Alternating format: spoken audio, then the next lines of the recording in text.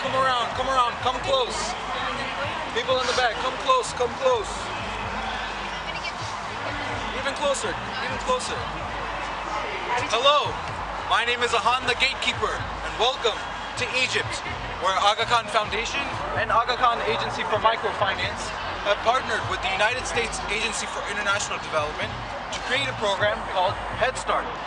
Head Start is a program that helps Egyptian entrepreneurs create small businesses and helps to improve the women and youth's chances of finding jobs here in Egypt.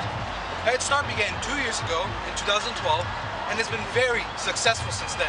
For example, before Head Start was created, about 9 out of every 10 Egyptians under the age of 30 were unemployed.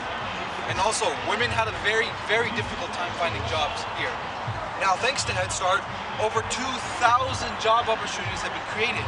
And also, women and entrepreneurs have gained key networking and marketing skills to help them find jobs here in Egypt.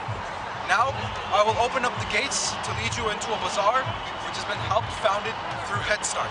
Welcome to all Zara, the luminous bazaar.